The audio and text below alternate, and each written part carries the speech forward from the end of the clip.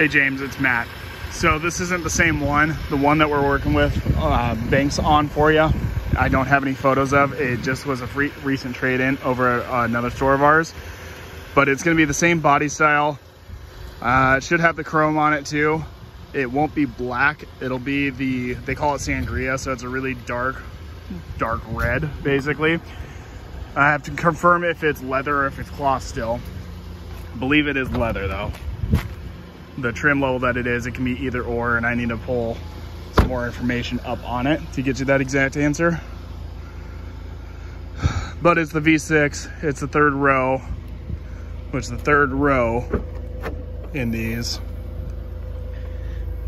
is back here.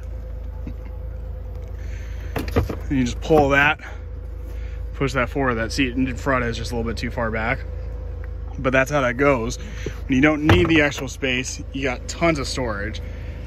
And reliability wise, I've had Kia for God, 14 years now, something like that. Kia and Hyundai. And I've only ever had one major issue, even that was under factory warranty. I paid nothing for a full new motor earlier this summer in my, my Sorento.